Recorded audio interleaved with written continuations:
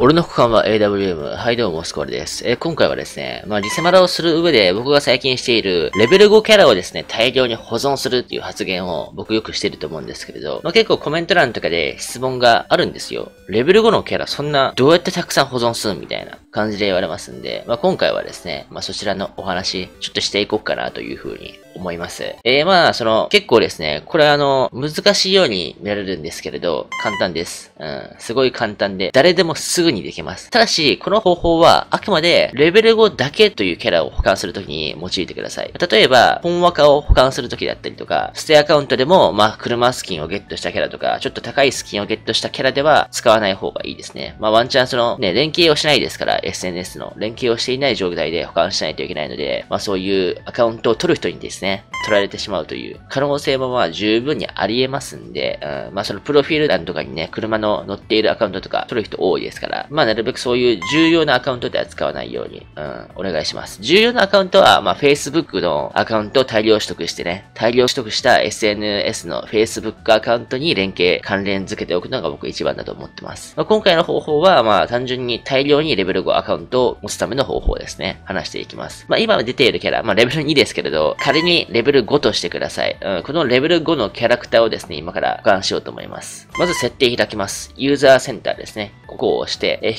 継ぎコードを発行します。引き継ぎコードを発行して、ここでパスワードを打つんですよね。で、この時注意点というか、大事な点というのがあります。いろんなアカウントを今から保管していくんですけれど、保管するアカウントのパスワードを全部同じにしてください。あ全部同じにした方が、今後のその作業の進捗が早く進みますんで、ここは同じパスワードにしましょう。はい、そして引き継ぎコードをこうやってね、出すことができました。こうやってですね、引き継ぎコードを出すじゃないですか。で、出して、このですね、コードをメモ帳にコピーして取っておくんですよ。必ず、その時に出したパスワード、そして引き継ぎコード、これをメモ帳に大量保存しておいて、まあ、それでですね、何か有事があった際は、まあ、そのキャラをですね、引き継いで、ログインしてですね、まあ、大量にガチャを回していくというですね、やり方になるんですよね。まあ、この引き継ぎコードの画像を保存する人もおるんですけれど、画像だとその、いっぺんにいろんなキャラに入りたい時に、融通が効かない時っていうのが多いんですよね。一色たり同じ場所にね、その画像を保存しておいても、まあ、やっぱりちょっと見づらい、一覧として見づらいし、そのいくつあるかってていうのを管理できないんで、まあ、僕はメモ帳に保存する方をお勧めしますね。で、この引き継ぎコードですね、一度しか使えません。うん、一度しか使えませんので、まあ、必ずですね、例えばリセマラなので、もう一回そのこのキャラにログインするじゃないですか。で、ログインして、まあ、ガチャ回した後は、もう一度引き継ぎコードを出しておきましょう。じゃないと、二度とそのね、作ったレベル5アカウントが使えなくなっちゃいますんで、うん、くれぐれもそうならないために、また使った後は、レベル5アカウント、引き継ぎコードを再発行しておきましょう。まあ、これを繰り返しておくことで、たくさんね、毎イベント毎イベントでレベル5キャラ皆さんたくさん作られると思うんですけれど、その作られたレベル5アカウントをどんどんどんどん利用してですね、無料でたくさん課金ガチャを回すというゲートができますので、よかったらされてみてください。えまたですね、少し話は変わるんですけれど、あの、よくアンインストールが必要なリセマラあると思います。今回の進撃のですね、コラボガチャ10連の方もですね、アンインストールが必要なんですけれど、スコアラさん、アンインストールしたのに回せませんって言われることがあるんですよ。なんでかというと、まあ、同じデータにログインしちゃうからだと思うんですけれど、基本アンインストールしても、アカウントデータに関しては引き継がれるんですよね。うん、ゲームセンターで勝手に連携されちゃってますから。だから、そういった場合は、まあ、アンインストール前か、アンインストール後にですね、このようにユーザーアカウントセンターに入って、新アカウントの作成ですね。これをしておく。うん。これをしておくことで、きちんとですね、回せますので、皆さんされてみてください。えこんな感じで、えいろんな情報を動画にしておりますので、チャンネル登録、高評価、通知のオンをよろしくお願い願いします。Twitter やってます。フォローバしろと言われたらフォローバしますので、よろしくです。TikTok、ミラテブ、そちらの方もやっておりますので、そちらの方のフォローもよろしくお願いします。それでは。